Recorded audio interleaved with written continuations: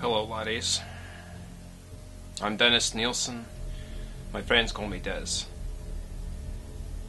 You've never heard of me. I am indeed what the authorities call a serial killer. Yes, I've strangled or drowned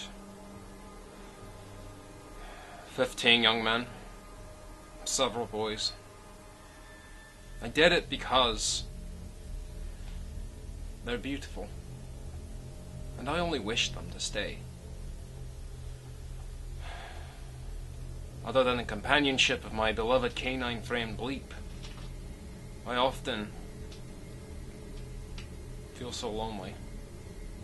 Having these beautiful young men around me sufficiently quelled my loneliness for a fair amount of time. I made sure they were happy. I bathed them, made sure they were comfortable at night and appropriately attired for tea and biscuits. Yes, during their time here, we'd often sit and listen to music, watch the telly and laugh,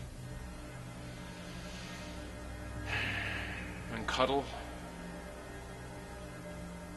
and sometimes kiss, but there was no sexual intercourse. Penetration. I simply enjoyed their company.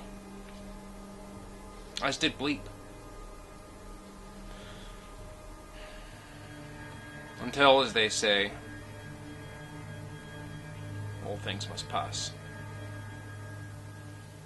Eventually, they became intolerably putrid and I had to get rid of them. So,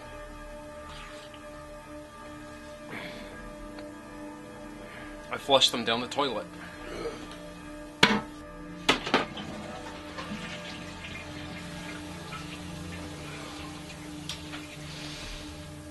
Until the next one came along.